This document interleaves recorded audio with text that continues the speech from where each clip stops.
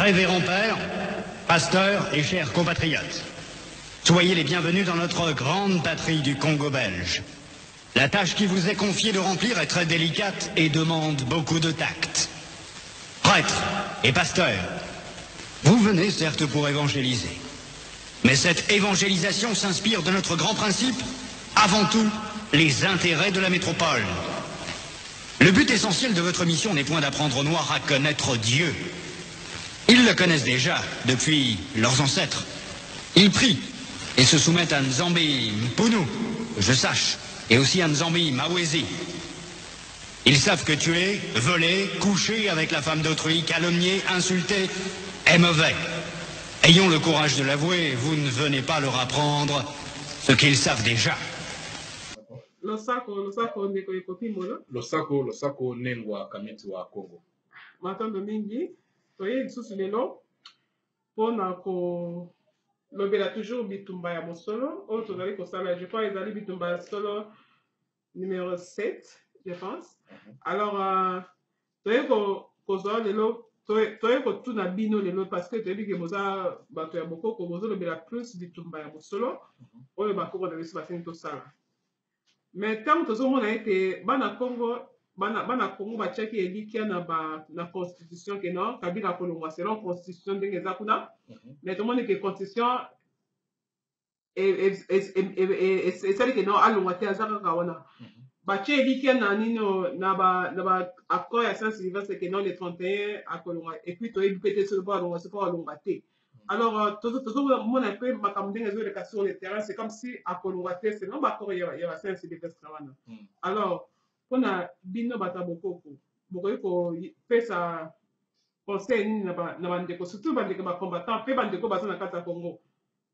totika combat yango kabila atika nde na pouvoir soit eloko nini vraiment tokosala eloko nini mpenza okoconseille bacongolais tosala na, na kati ya minute oyo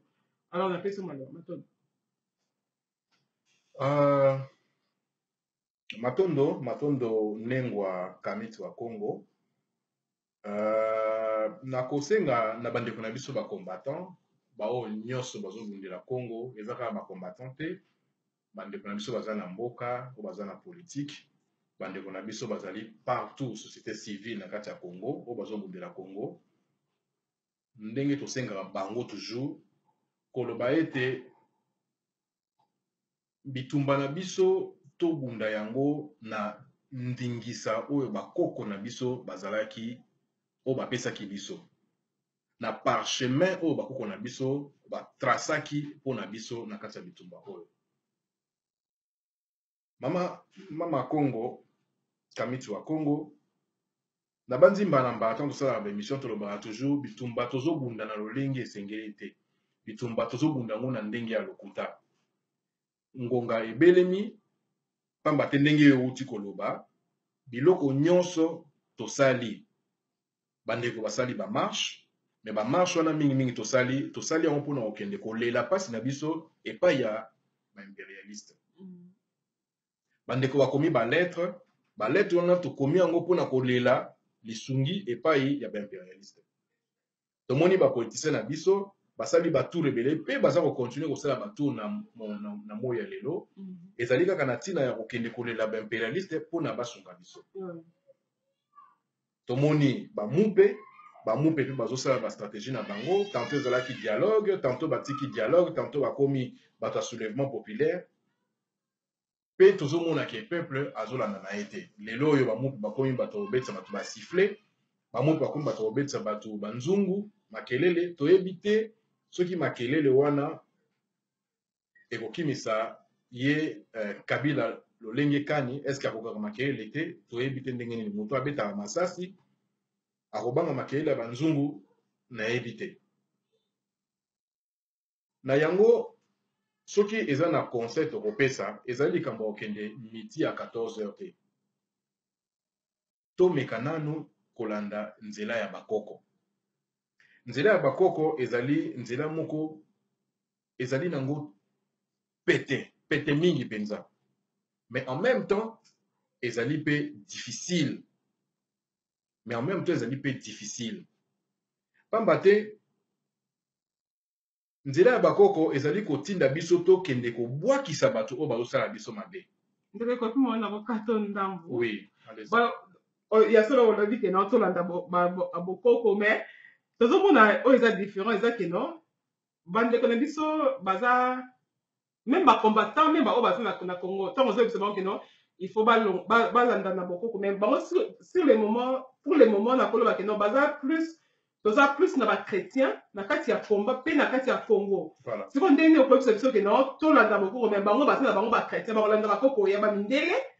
to bakoko ya, ba, ya baindo sikoyo wana esika na mpenza osembola biso parce que bapaster mpe bayaki ke non il faut tosambela tokota bagene prière tosala boye tosala boye bango mpe basalaki yango mai ezosimbaka te sikoyo bato bakoko bolobi nini napesa mwana te olobi bien nasepeli ndenge osemboli ngai mpamba te osungi ngai naoka kolimbwela bato clairement de quoi il est question nazali koloba awa bakoko bapesi biso nzela oyo ezali nzela ya pete c'est-à-dire que bapesi biso bitumba batiki biso bitumba oyo bitumba biso réellement tokoki kobunda yango nabanzi yo comme bandeko ebele na kati ya bandako na bango bamonaka bitumba oyo eleki biso mbeka yango babaka no totika bapoliticien bango basala yango parce que tozo estime ke bapoliticien baza na bamoyen mais pourtant bitumba oyo tozobunda biso toza na ba moyen ya kobunda bitumba wana me tokoyeba bitumba moyen wana te soki tozongeli nzela ya bakoko te shema ya bakoko mpona toyeba ke toza na bamoyen wana ifo kaka tozonga na shema ya bakoko de manière aseke tokoka kolonga bitumba wana soki toke na chemin ya bakoko te tokomona ki bitumba eleki biso mbeka il faut topesa yango na ba militaire or ba militaire na congo basi baboka eponge ba etumba baza wana basalaka eloko te topesa yango ba politicien ba politicien bango bakomi na suka na bango bazosala eloko moko te bango baza kosalela bashema oyo baimperialiste baza kopesa bango baza kosalela yango te soki okei epai ya bapasteur bapasteur mpe otali bango bia omona shema na bango ya bapriere ezali kaka shema ya baimperialiste soki tozongi na par exemple nini lettre oyo discours ya leopold ii leopold ii alobi nini abi totindi bino bapretre kuna bamissionnaire bokende bolalisa bato wana pongi botalisa bango ke mpo na kokota na lola il faut pa balinga mokili mingi mingi mm. il faut pa balinga bozwi mingi parce que soki balingi bozwi parce que soki bakomi koyeba ke mabele na bango toni na mosolo bakoki kosala biso concurrence et puis il faut boboyisa bo, bo bango eh, nini biloko ya mokili, biloko ya mokili. Mm. balinga yango te oyebisa bango ke non bariche ba bakokota na royaume mm. de ciel te ozomona alors bamateya wana yango biso toza nango en tant que bachrétien oyo bapaster bazoteya na, na église bazoloba nini bolinga mokili te mm -hmm. alors ntango bazoteya bolinga mokili te yokanisi ezali koaffecte bato na lolenge nini na kati ya subconscient na bango eza koyebisa yango ke na mokili tout est vanité de vanité mhm. eloko moko te toyei kozwa awa donc c'est mieux ke tolikia na biso na, mhm. na, na lola mhm. bato na kati ya mental ya bato c'est ça qui se passe alors moto oyo azolikia na lola akende kobundela mboka na ye akoluka abatela bomengo mboka na ye na ntina nini akosala yango te donc tout se passe là dessus donc baoyo bapaster bazosala bango nyonso bazali na ba politiciens baza na kati ya schéma moko bazali ko promouvoir ba mateya to mécanisme oyo ba impérialistes batiaki na, na, na, na, na, na mboka na biso mpo na bato bakoka kotelema te ya, ya, ya tout un plan oyo esalami mpo na biso tokoka kotelemela bato wana te tokoka kobimisa bango libanda te alors soki ozongi sikoyo shema ya bakoko ezali nini shema ya bakoko ezali simple shema ya bakoko ezali ke un biso osala minduki te elingi koloba te tokobunda ya minduki te nalobi kaka ke biso osala minduki te mais par contre force na biso makasi force na biso makasi ezali na kati ya koyeba lolenge nini bakoko na biso babundaki na bokoko na biso tobundaka ndenge nini c'est quoi les armes oyo eza na kati ya kibokoko na biso or soki tobandi koconsidere baarme eza na kati ya kibokoko na biso eloko ya liboso tokoconsidere ezali nini ezali ke tozongisa connexion entre biso na bakoko na biso eloko ya liboso arme ya liboso alors soki oyebisi bato eloko wana ndenge nazoloba eza nango makambo moko simple oyo biso tu tokosala mais en même temps ezali eloko moko difficile pourquoi parce que bamindele soki ozongi na discours toujours ya nani alobi bato wana bazali kosambela nzambe ya mpungu tulendo mawe jean yangila bakombo wana nyonso me bosala tu basambela biloko wana te boyebisa bango ke wana ezali ba kindoki ezali makambo mabe mm. alors bosambisa bango banzambe oyo biso toyei na yango mm. oyo bazali bakoko na bango alors ke bayebi bia ke ntango tokei epai na oyo ya bango connexion ekatani na bakoko na biso bakosunga biso te tokomi impuissant parce que oyo ya bango biso eza lokola bana ya mbanda akopesa biso eloko oyo ya basala te bango baye na banzambe na bango baye mpo na koyiba biso biloko bango baza nango te oyo biso oza nango bayiba mpo na bolamu na bango siko ntango biso tozokende kolela epai ya banzambe oyo wana eza kaka ndenge molokola bapolitisien baza kokende kolela epai ya baimperialiste ke baimperialiste bakende kosunga bango bango bazoyiba bino mboka bazoboma bino bozokende kolela epai na bango eza ndenge moko nde ba combattants tosala ba marche tokende kolela epa ba mindele ce sont les mêmes personnes qui nous tuent oyo batemisi ba rwandais ba kanachien na bane mpona baboma biso biso sikoyo tokimi sikoyo tokokende koleka na bango tozoyeba eloko tozosala te arme ya liboso de toutes les façons toza mpe na choix mpe lisusu te parce que tomeki meki meki bachema wana nyonso tomoni ke esimbi te e ngai nazoyebisa bino pourquoi bashema wana esimbi te esimbi te parce que ezali bashema oyo eza ya bamindele mindele batya wana ki asali mabe mais en même temps apelisi moto en même temps amikomisi pompier bokende soki kolelela ye mpo na ye aya kosunga bino napesaka ndakisa moko eza mpena na rapport te mais eza quand même important ya kolobela yango mundele abomi kadafi atie mama na desordre kuna bapetrolier nyonso ya mindele bakoma koyiba petrole kaka na libye wana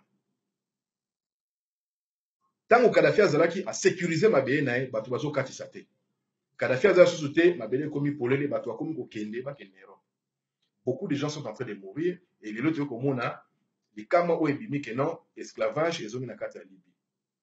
ntango mondele abimisi image wana bato bazalaki scandalise bato babimi libanda soki oyebi te okomona mondele abimisi image wana tobino mondele abimisi image oyo parce que ayokeli bandeko na biso na mawa mm. ifale image wana ebima mpo na mokili etelema de manière seke mpasi wana esila alors que eza ndenge wana te ye azosala mosali na ye ya pompier e piromane apelisi moto nsima bino efo bokende koluka ye nsima ye aya koboma moto wana napesi exemple oyo parce que ezali le même exemple oyo tokoki koaplike yango na makambo nyonso toviva na kati ya afrike kuna alors sikoyo bato babimi totamboli hey, eh, eh, hey, eh, hey, baprésident na biso baleki au créneau balobi non biso oza na moyen te ya kosala yango tokosenga bamindele bakende kosala yango e biso mpe baactiviste mingi batelemi babi non foti wana eza bamindele mo babandaki masolo wana bango badestabilisaki kabila donc ezali responsabilité na bango basala nini bakende kobongisa eloko wana eloko mondele azali koluka yango wana na minute tozoloba france angleterre bango nyonso bakomi kotinda bacontingent militaire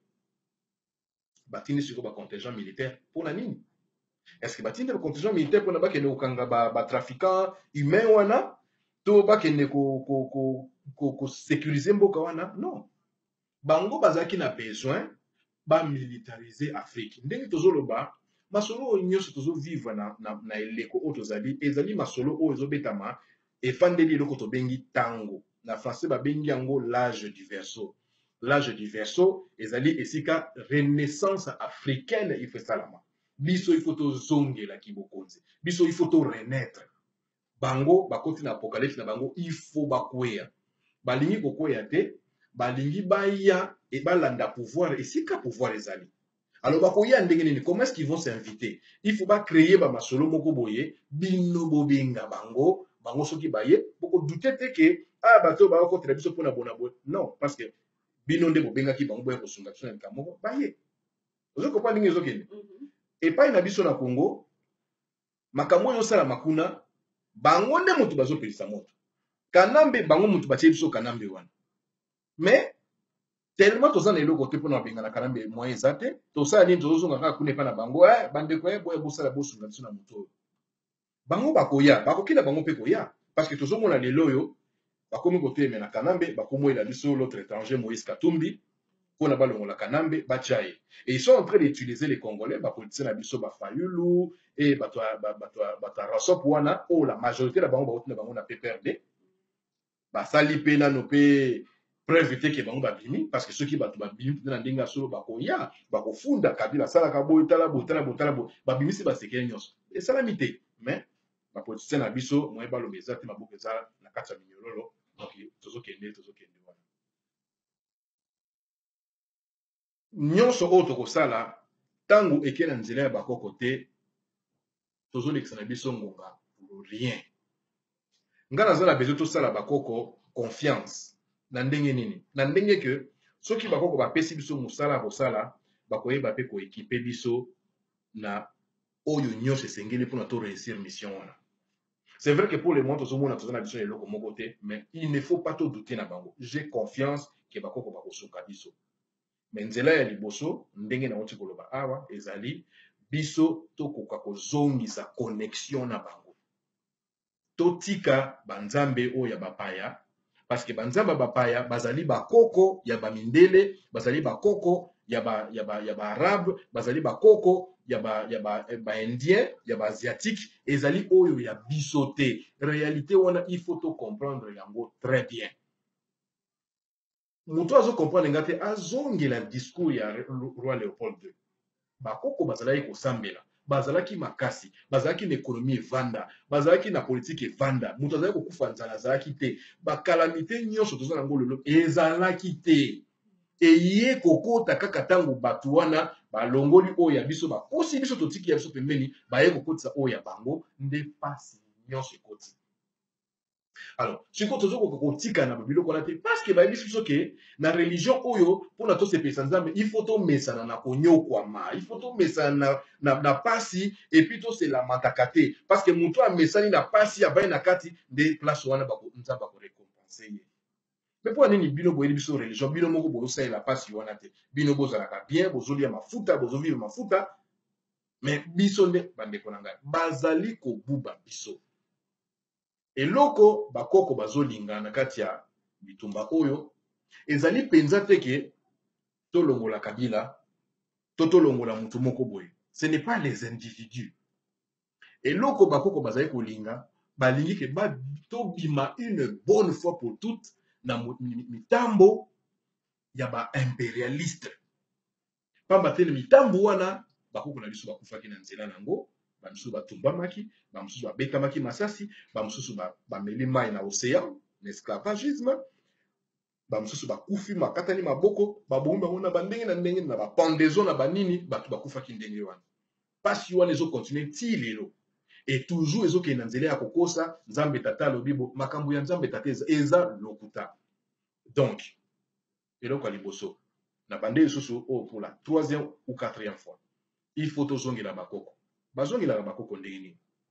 simplement ndenge bakoko bazali kosala tozosambela tozobelela nzambe ya mpungu tulendo akongo mongali nepoa mvidi mokolo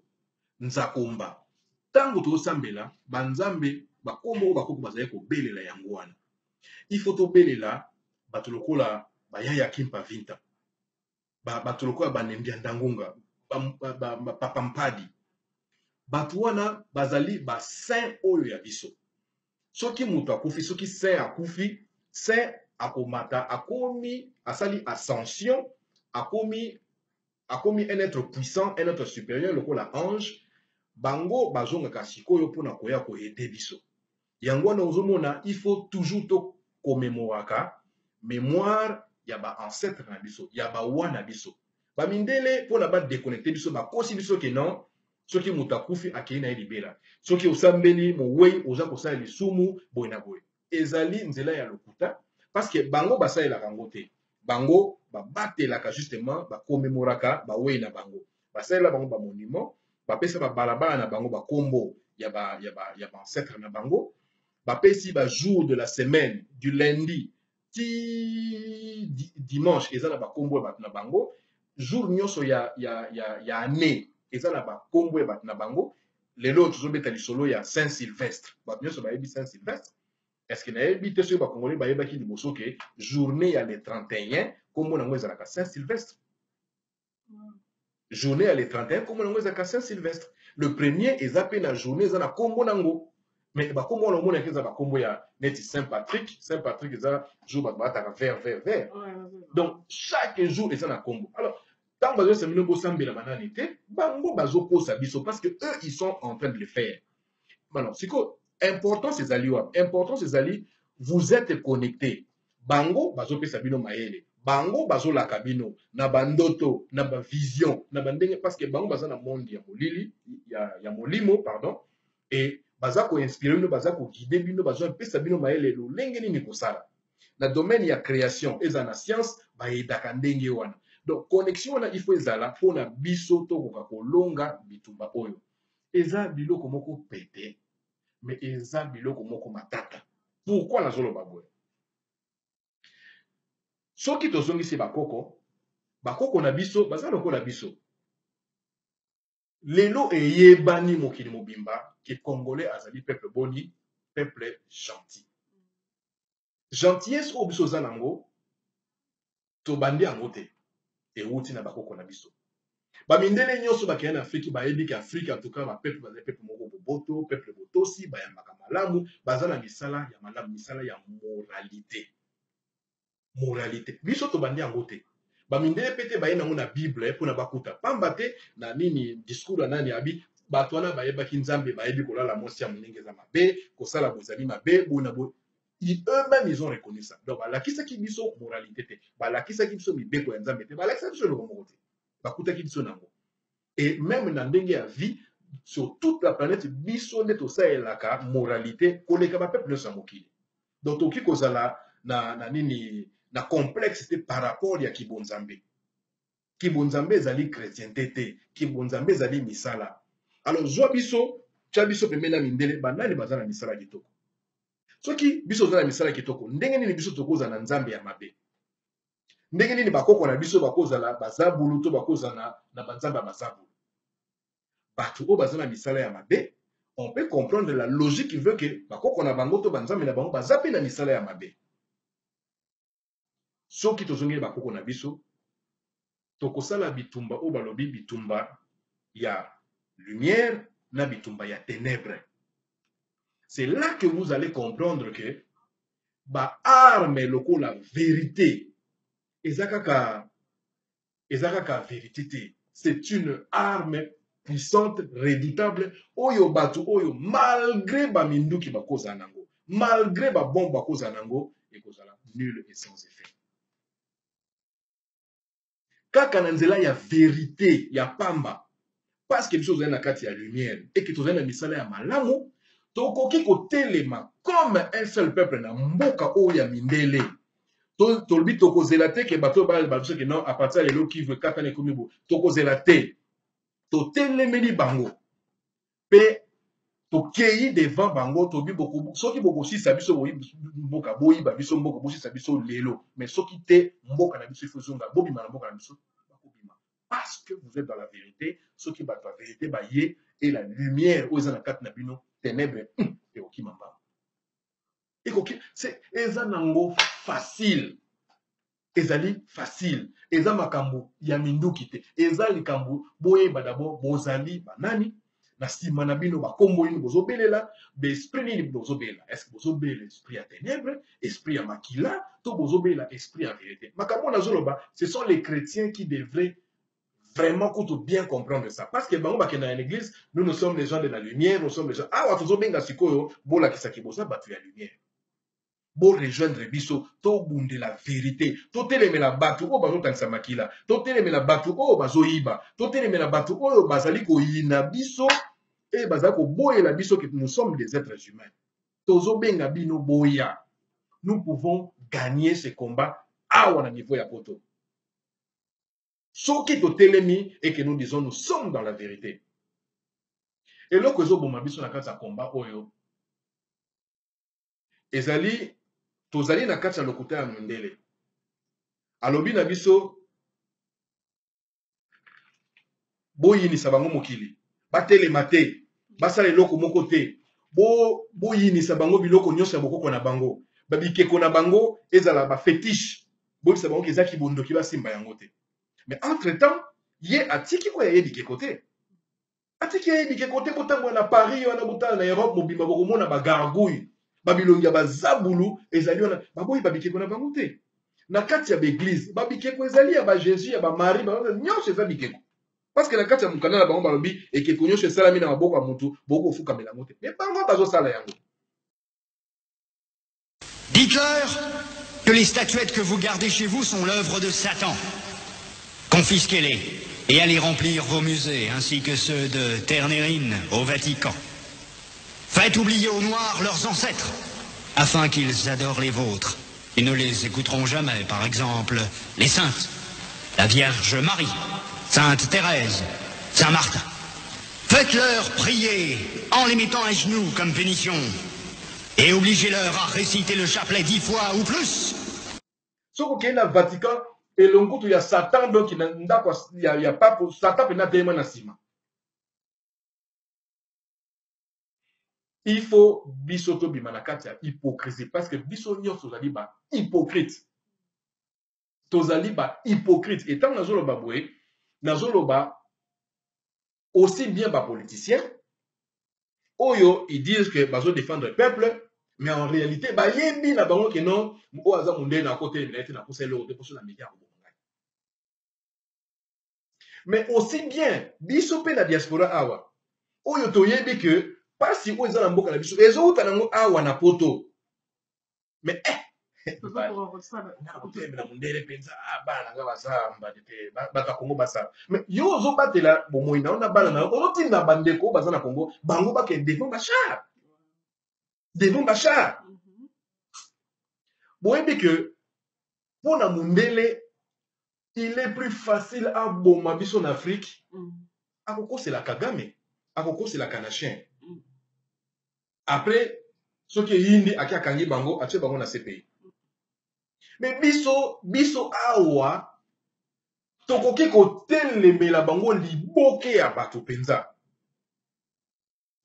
makambo ya nyamu nyamu te verite na monoko bakretien bateyaka bino veri, eye la verite pour ceinture eye nini bopo na bo yango tozobenga bino tosalela boloba te ke tosi totambola totambola te mm. oyo tozotambola tozotambola mpo na kokende kopermettre leader politique moko azwa pouvoir tozobunda bitumba na kati ya système ke moto moko bo akota na kati ya système na kati kuna comme ça asalela biso ce n'est pas de ça qu'il est question awa awa tozoloba charte ya impérialisme yango mboka selon bango na kati ya charte ya impérialisme eza ya bango toza na droit nango ata moke te oyo elobi bango yango biso tokolanda eloko nde tozolinga tokase esila e makambo tozoloba awa tokoka kosala yango biso moko te parceke tozali aliene cetadi bomoto na biso ezali ndenge bango bafasone biso na systeme ya enseignement na systeme ya spiritualité na systeme politique na systeme ya économie makambo nyonso tozoraisonne selon bango il faut tobima nano na shema wana tosi tokomi mikolo ba, mokolo aza na besoin te bazwaka ye balesaka ye lokola bana mike soki ozali un homme fait mature spirituellement okoyeba kozwa basolution spirituellement oza na besoin tokendaka kobondelaka ye nyonso tata nzambe tata nzambe non le problème ezali meme babiloko ya mike mike babiloko lokola verité babiloko lokola courage babiloko lokola détermination babiloko lokola nini uh, nini uh, intégrité babiloko wana ezobima lokola kaka bamo mais eza bamo te ce sont des règles ce sont des lois spirituelles oyo ke soki tosaleli yango bato wana bakokoka te ils vont fuir bazala bato ya ténèbre bakokaka justice te bakokaka vérité te ils vont fuir mais tant et aussi longtemps bino boatake bango sur ce plan là te bakotikala na plan ya baminduki to soki minduki te bakoti na plan ya kolalisa bino mpongi na babible boye na boye na boye alors bokoningana te bokozala wana bozomona bango lokola banzambe et nous n'allons pas nous en sortir bandeko na ngai totombola milimo ya bakoko na biso bakoko bazozela me biso nde tozolinga kotala bango te tozolanda bapoliticien oyo bazali na kati ya basysteme ekosimba te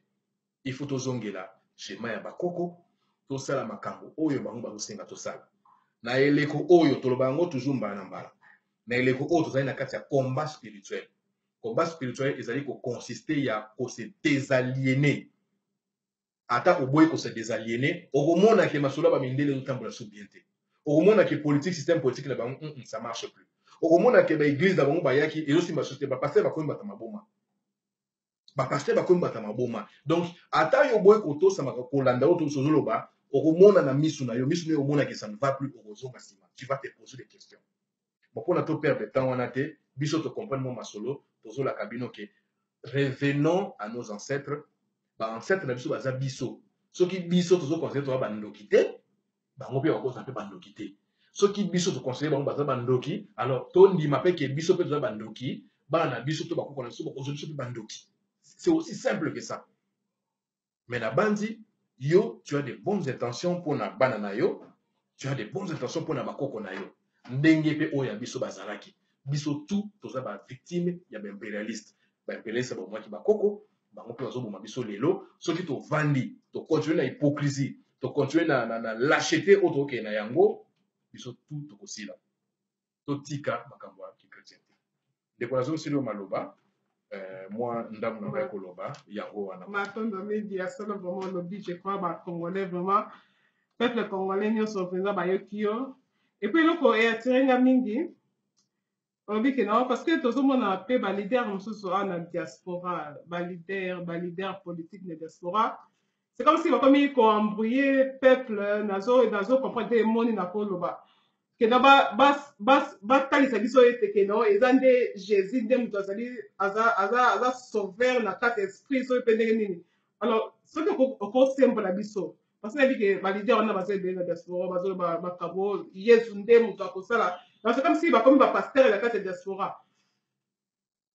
Est-ce que oko expliquer vraiment clairement est-ce que Yesu wana oyo ba, ba politiciens ba pasteurs bazoloba est-ce que akosala quelque chose ata ya mokie mpo na liberation ya mboka na biso est-ce que aza libérateur ou bien aza libérateur te Es- eh, sembola biso na mwa ndambo wana parce que na- nayokaka mingi balider balobaka o no yezu nde libérateur na kati ya esprit alors so- soko esembela biso mokie oui euh, pona pona pona ba leader bon nayebi que nani papa na biso honore ngwanda honore mm. ngwanda euh, azali papa oyo toza azali chrétien mm-hmm. et c'est un papa qui a qui a beaucoup travaillé pona bitumba tozosala pona makambo ya liberation ya mboka na biso mm.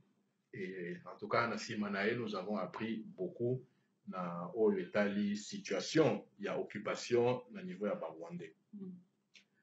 mais par rapport ya question oyo ozo pose je pense que nautaki koloba ngo na ebandeli awa avant ba mindele baya na chrétien na christianisme mm. bakoko na biso bayebaki nzambe basambelelaki ye et il est bon mpo na baafricain nyonso euh, notamment baleader nyonso bayeba ke l'humanité moto ya yambo basalaka asalamaka na afrique lelo soki toza na baasiatique toza na bamindele toza na banani banani banani bango nyonso bauti kaka na africain wana pardon ndeko oui. ekoki molo oui nazali ba ouais parce que ntango ozoloba il faut pesa mpe bakombo mm. ya ya ba ya ba ya ba noir ya liboso bazalaki na kati ya ya moke parce que balobaka l'afrique est le berceau de l'humanité voilà. Alors euh, koko ya yambo azalaki na po nini epi kombo na ezalaki soki oyebi okopesa biso obianga na kopesa eh, koko, koko, koko ya yambo azalaki moindo mm -hmm. eh, nabanzi koko ezalaki kinzala panda na kitele kinambo kitele kinambo voilà. bakoko na biso bayindo voilà.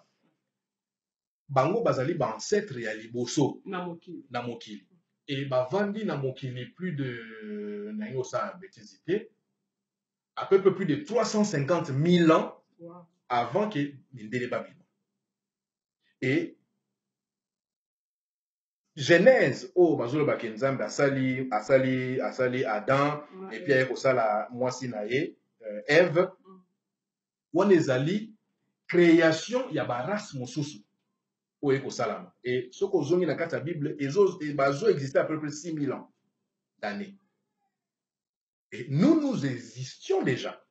voilà pourquoi ntango babengani bango kayen abomi abel Mm. kayen babengani ye alobi yo otindi ngai na mboka bo bakoboma nga- bakoboma yo bakoboma banani bakoboma yo? bino boza suppose ozala kaka yo na tata na yo na, mu- na yo na ndeko na yo yo bomi ndeko na yo otikali mwana moko sikoyo bato wana obanga baboma wana et en plus la bible va plus loin abi- akei ake kobala na mboka moko boye soki wana akendeki kobala bana La verite ya kati ya eloko wana ezali que à un moment donné tolingi kobima mpenza mingi na kati ya masolo na biso te mais c'est juste pour dire que banunakite baye na mokili ba extraterrestre bobenga bango so bolingi na ndenge ya bible bobenga bango ba ange déchu baye bango nde na kati ya bible bango nde bazosala bato na mabele bacreye motu parce que babandaki kosala ba experimentation ebele parce que bango baye na mokili bauti na planète na bango eh, kombo na yango eza kaka parenthèse eh? mm. bauti na, na mokili na bango kombo na yango nibiru baye atmosphère na bango ezalaki ya kobeba ils sont venus sur la terre mpona koluka or mpona kobongisa atmosphère na bango parce que atmosphère na bango etambolaka na or eza oxygène lokola biso te mm. alors ntango baye awa baye kokuta effectivement bato bango bazokoka kosala ko kokundola nini te ata mine ya or te parce que bazokoka korespire d'abord atmosphère na biso te epuis bamoi oyo ezali awa ezosimba malamu te donc bango bazobombana toujours alors bazali sikoyo na besoin bato basalela bango mosala wana alors bameki bakoko na biso ça ne fonctionnait pas bien nde sikoyo baye kosala sikoyo bato basali ba processus ya bato ebele basali moto ya liboso esimbi te ya mibale esimba te ti ya suka baye kosala nde basepela bikena motu azali vraiment parfait ozomona origine ya barace mosusu toza na bango awa ce sont des gens qui sont fabriqués na niveau ya baindustrie na niveau ya baindustrie ils ont été fabriqués na balaboratoire alors na suka babi ke non toza content na bato tosali mais bato yango basali soit disant baza parfait mais bakokaka na bango na moi te mokolo mosusu nakosepela mwana tosala nano étude sur euh, mélanine mm. poso oyo ya nzoto tolakisa bato ntango bazomonaka biso oza na humanité te tolakisa bato ke en réalité biso neti oza des vrais humains par rapport ya nini barace oyo eza na kati ya mokili oyo donc bamindele banani bauti wana yango ozomona baza kaka bato bayebi kobina te babuzaka lolenge bamakambo kaka bamwa barobo et ils sont là bango travail travail travail travail et lelo oyo mosala oyo bapesa bango basalisa bato misala ya kotimolaka kotimolaka baminere baminere basala yango ti lelo bakendaka partout ils sont venus na amérique du nord awa na amérique mpo na kozwa baor bakei na baaustralie ba, ils sont parti partout mpo na kokonza bapeuple koboma bayibaka banini bazwaka baor wana ti lelo basalaka yango nini basalaka nango nini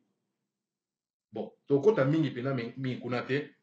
mais c'est juste pour dire que bakoko na biso bazalaki bato oyo ya yambo bayebaki nzambe nzambe ya mpungu tulendo bazalaki kosambela ye bazalaki bato ya bien bazalaki kotambola na, na, na, en harmonie avec la nature e bazalaki kosala baexpérience na bango awa esili bamati na ndenge ya likolo bakei kosala baexpérience tokufaka te baexpérience ezali ebele donc bato oyo oyo baza kobanga oyo bazoyela biso ke non chretiente o oh, jésus o oh, boye na boye ntango oyo eza so ntango olalisa bato te toza na besoin tokende kobika e bakoko na biso balobi te tokobika kaka soki tozongeli nzela oyo ya bango tokokende kobika na nzela ya monguna te bamindele bayeli biso bible na makambo ya jésus a partir ya 400 ans 500 ans yango tozokende tokokisi deja notre société, société est tombée, pasi ekoti, nzala ekoti, lelo tokomi na niveau que le Congo elingi epanzana. Or, ce qui Congo epanzani, c'est toute la race noire qui est partie. bamindele bakomi na suka na bango bakomi kolukela biso bamayele ebele ebele mpona bamema baarme na bango bamilitaire na bango lelo oyo afrique mobima ekomi militarise baso ya kosala makambo nini bana congo toyeba ke toza na responsabilité moko monene mpe makasi responsabilité na biso ezali ke il faut totelema na niveau ya congo tobimisa bapaya nyonso libanda mais tokosala yango na nzela ya courage tokosala yango en citant en invoquant bamémoire ya bahéros nationaux na biso bapatrice mees lumumba bakasa vubu banani bamulele bavita kanga bato wana nyonso bango nde bakufaka te ce sont des énergies qui sont là bamindele nyonso basalaka yango soki bango bazali kosala yango te tokolobake no tolingi tobungisa bato mais soki okende église catholique mpona bango bakende na église catholique basambelaka saint père prier pour nous sainte marie prier pour nous saint pierre soki nani oyo oh, boye basambelaka bato na bango basambelaka bato na bango babelelaka bato na bango bakendaka na basimetiere bazobela eza mabe te eza mabe te yo tata na yo akufi okende kolela ye te mpo nini okende kosenga ye lisungi te mpo na nini parceke ye amati na bisika likolo donk euh, bapapa na biso oyo bazomema biso na nkombo ya jésus nangi nayebisa bino peut-être bino bose pencher na question te biso tose pencher na question on ne peut pas être bon na badomaine nyonso okoki kozala bon na domaine ya politique okoki kozala bon na domaine ya médecine okoki kozala bon na domaine ya nini mais bakoko bapesaka likabo mwana na mwana likabo na ye epuis tobotamaka basanza moko te parceke bamakabo eyaka selon sanza oyo moto azobotama biso tozwi ngolu ya koinvestige kote wana parceke biso oza na biso bato ya barenseignement te toza na biso bapoliticien te mais tomeki komeka kocomprendre nano ezali ndenge nini nde toyei kokóma na conclusion oyo e conclusion wana ezali conclusion ya bakoko na biso tokolonga bitumba oyo te soki totaleli bakoko te soki toinvoke nkombo ya kimbangu te tokolonga bitumba oyo te non soki tolongi soki tobeli bakoko te tokolata jamais courage bomoto oyo bamindele mokili moma bazoboyela biso te parce que mboka na mboka bikolo nyonso batambolaka na bakoko na bango na bilima na bango c'est comme ça que ça fonctionne biso tozonga tosalela nzela wana na banzi lobiko ezali kuna nazosenga na bandeko na biso bakretien batika makambo wana batika yango ezali badistraction ezali makambo ya pongi bokosambela toute votre vie bokozwaka jamais kimia e le, le, le pire encore le pire encore soki okufi na bakombo bapesa biso okei prisonnier na ngambo oyo ya bango okeyi prisonnier bakokanga osali bowumbu na mosala awa osalela bango bamisala awa soki okufi paske olati nkombo na bango o oh, pierre o oh, nani okeyi susu prison epai na ça ce sont des réalités oyo toyebaka même pas les gens sont content nga naza chrétien bozoyeba te ke paske olati bakombo na bango donc okomi oza mowumbu na bango na awa na se awa parce que moto moko ta akolobaka eza mowumbu na bango te biso tout toa bawumbu na bango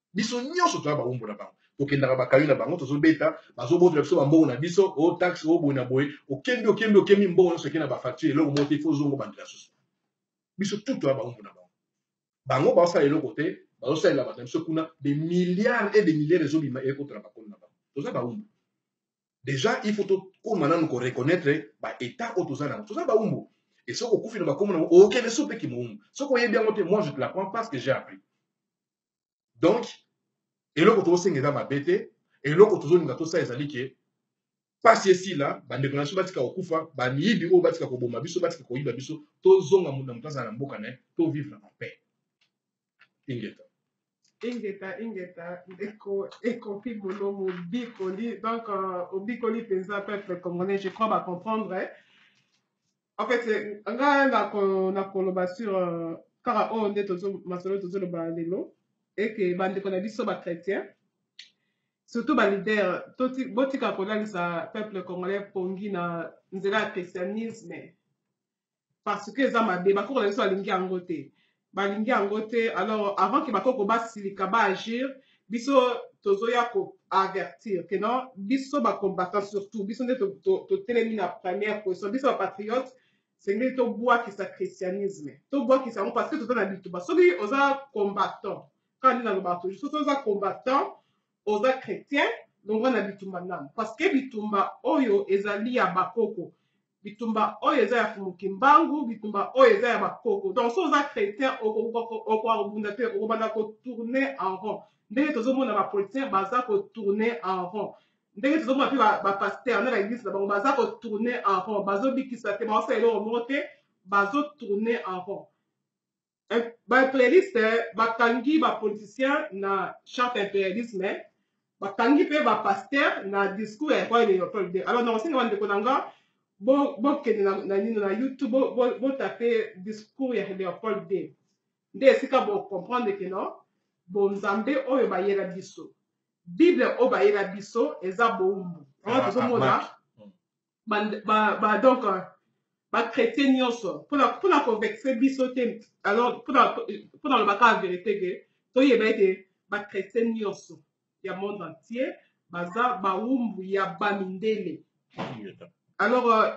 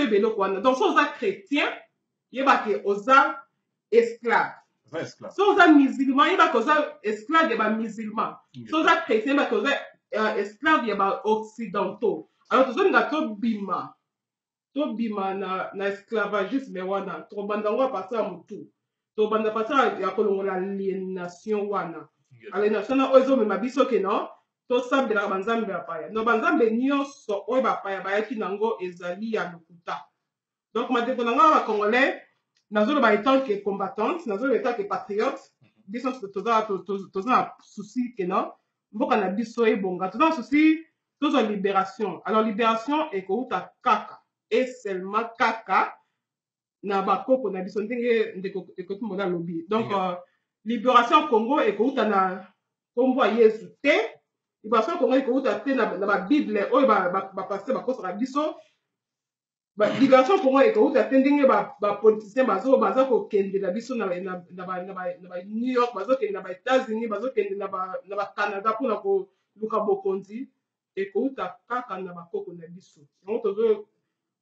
koloba lelo ke na bitumba ya bosolo ezali base na liberation ya Congo. Liberation ya Congo ezali renaissance africain. Renaissance africain ekosalama kaka na nzela ya bakoko epuis na nzela ya Kimbangu. Alors euh, ndeko ekoki mona liloba no ya suka ekozala nini par rapport ya makambo nyonso oyo tolobi epuis na ngai na bakisa eloko moko oyo nde bakosaki bandeko na biso na kati ya bible balobi ere les pauvres en esprit car le royaume de cieux est à eux royaume de cieux ezalaka te eza lokuta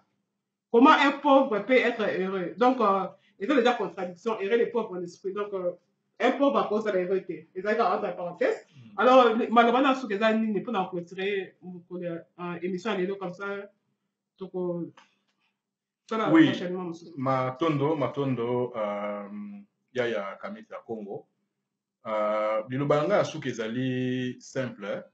uh, soki napesaka ndakisa na kati ya, na kati ya, ya biblia bana ya israel ndenge swadisa nabengaka bango ntango bazobima na egypte uh, balingani na kondima te me sukasuka ntango bandimi toye komona uh, babimaki na bamoyen moko uh, bacataclisme esalamaki donc uh, bambonge esalamaki eh, ba ouragan esalamaki babiloko moko baforce ya nature oyo esalamaki de sorte ke ifale bakende kaka biso ekosalama de la même manière ndenge tolobaka toujours eleko oyo tokomi ezali eleko ya ntango baloba yango ya kiniantimasa donc euh, l'âge du verso mm -hmm. l'age du verso ezali fin ya règne ya ba romain ba occidentaux fin ya règne na bango donc ti ndenge bazotingama wana ti ndenge bazoforce bakangama baya bavandela biso na afriki mpona bazala kaka na likolo ekosimba na yango te ekosimba na yango te bakolia frappe na bacatastrophe ya bandenge na ebele soki bakosenga biso pardon ekokende yango na ndenge ya bopete eloko moko te ekosalama me soki bakotya motu makasi bakokweya nazoloba bongo te mpo na biso tovanda tozelake mozalisi nzambe mpo motulendo abeta bango non nous avons un rôle à jouer rôle na biso ya liboso ezali na tozongela bakoko ndenge nauti koloba awa tozongela mozalisi ya likolo na se ndenge nauti koloba awa komona yawe te komona el shadai te babiloko wana nyonso bamindele bayaki na yango o ba jésus eza babiloko na bango ya lokuta oyo ezomema mpasi epai na biso na koserepete te Bo se rappeler na 1959. Pamba te makambo oyo tozo loba il faut ezala quand meme na ba precedents. Bo se rappeler na 1959. Ba koko na biso bazalaki na nini? Bazalaki na minduki te, bazalaki na eloko moko te oyo bakokaki kobunda na babelge parce qu'à l'époque l'armée c'était des belges bambila bazalaki babelge bango basimbi minduki bacongolais basimbi peut-être bangondo kaka ndenge lelo barwandais basimba monyoso biso oza eloko te bon esalamaki ndenge nini ke peuple atelema abimisa bato wana bango bazalaki na puissance de feu soki peuple ayebi monguna na ye azali nani ndenge tolobaka monguna na biso ezali mindele soki bayebisi biso ke biso ifo totatake na kanambe na ndenge ya bosolo ezali verite te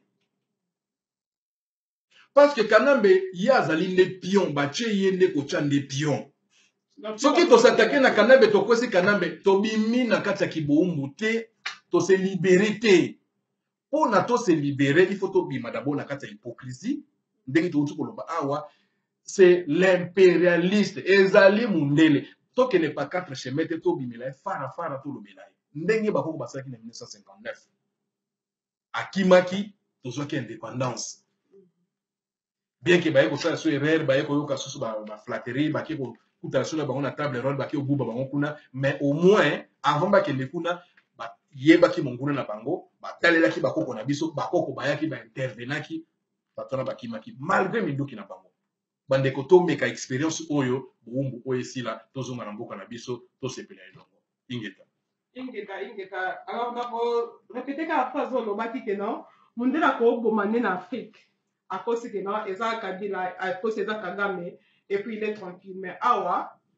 ako akosala yango te parce que un akobaka nanu peuple population na ye Voilà. alors je me pose la question pourquoi alors toko- tokotinda bandeko na biso bango batelema epuis biso awa tosala hypocrisie kaka nde olobi tosala hypocrisie na bamindele parce que toyebi ke ennemi ya afrique eza mondele ba eza baoccidentaux oyo tovandi na bango awa alors Ouais. bandeko na ngai tobota courage Mhm. kaka ndenge ndeko ekupimaka alobi tobota courage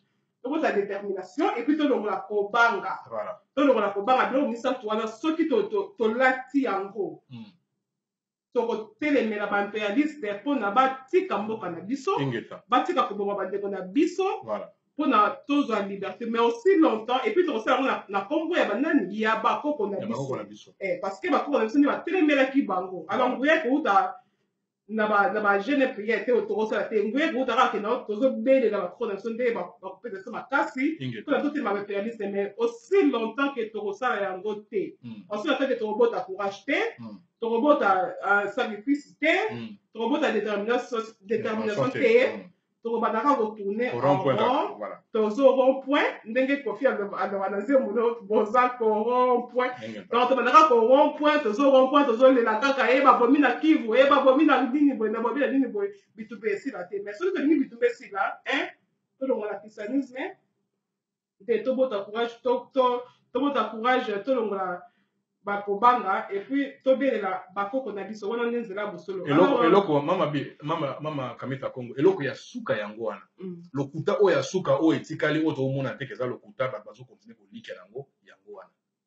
boki bonzambe ya bapaya christianisme eh, islamisme eh, babouddhisme babiloko wana yoki bonzambe bato bakangami kangami na yango wana bazokanisaki yango nde lobiko eza lobiko te bato bacomprendre politike bato bacomprendre bamusicien baosa badis mais babosani distraction ya christianisme eza kibonzambe te ezali kiboumbu batie bino bofukami bozosambela kaka bokangi miso mm. bato bazoboma bamindele bazoyiba bozomona bango physiquement mm. mais bango babi te eza biso te eza satan alobi nde kuna je te dis satan satan je... tochange pardon soki biso bacombattant totikala je totikala je ya kosangisa christianisme na comba non esimba te esimba te christianisme na comba ya congo esimba te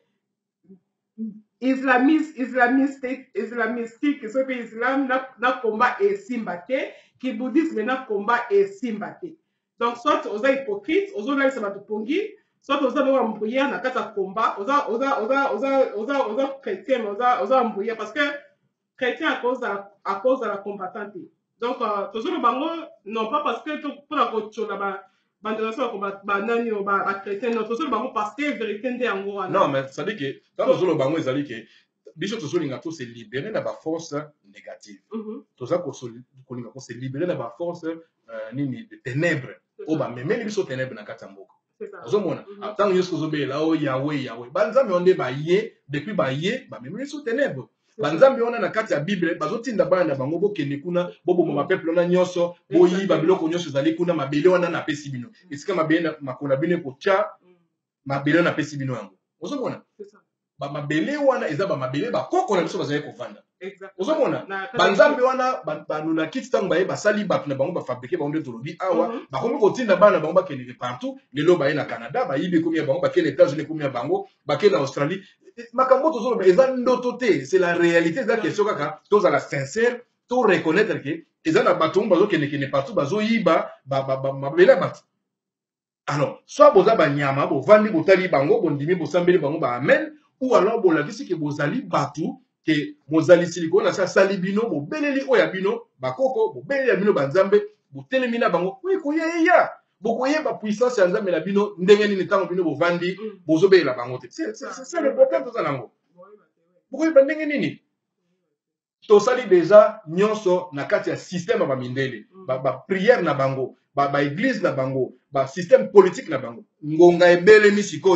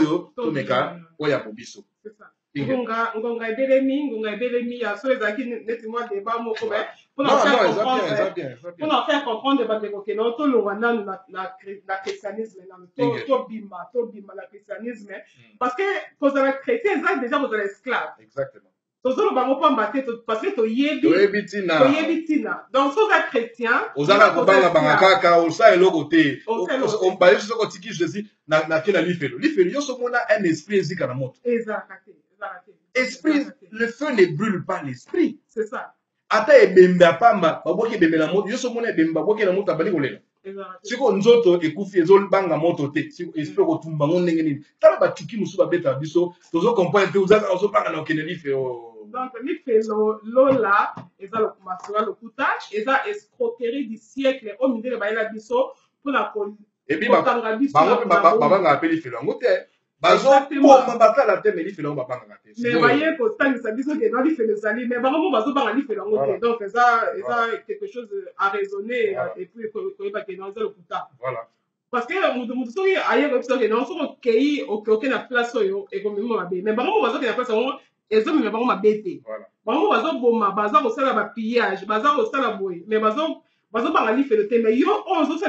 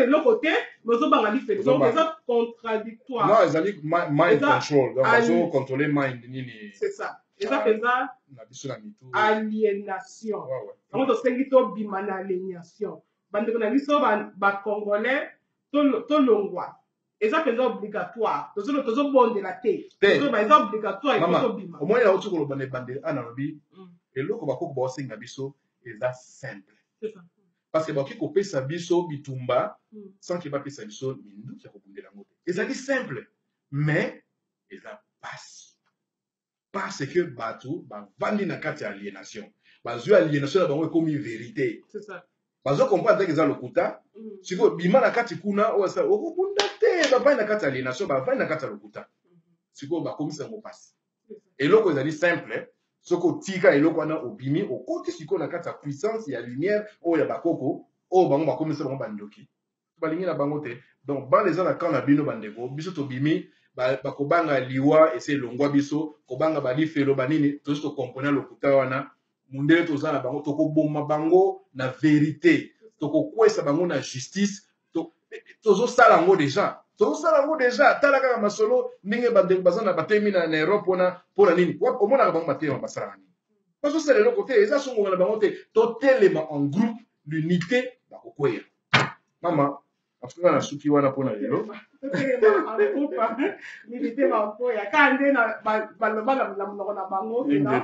l'union fait la force l'union fait la force donc soki biso tosangani na nkombo ya bakoko na biso hmm. parce que balobaka à chacun ses ancêtres à chacun son pays à chacun son, son nini son nini Ingeta. ya bapaya nde mabe Ingeta. donc soki totelemi na avec en, en union parfaite na bakoko na biso Mm. tokokweyisa imperialiste tokokweyisa baloki nyonso tokokweyisa bango epuis tokolibere mboka na biso Ingeta. kaka na nzela wana ya kokweyisa baimperialiste na nkombo ya bakoko na biso alors kimia ya fumuki mbangu bakoko mpe balongo ezala na biso ezala mpe na bino donc euh, tokutani prochainement na masolo oyo toyaka nango toujours bitumba ya bosolo matondo mingi ingeta bonne année bonne année quand même nayebi ke eza eza ya bapaya eza ya biso te ah, topesi bino kaka bon oyo eza mpe ya bapaya ndenge moko mabe alobi mais année oyo tozali ezali euh, l'âge du verso année 5 l'âge du verseau année 5 oyo bango bamemela biso ya 2000 2017 eza nango ya lokuta eh, mais bon ndenge bato baza na kati ya aliénation topesi mm. kaka bonne année mbula sika ebanda bien totelema na courage totelema na détermination mm-hmm. totelema na esprit ya sacrifice tozela te babotola biso mboka nsima toya ko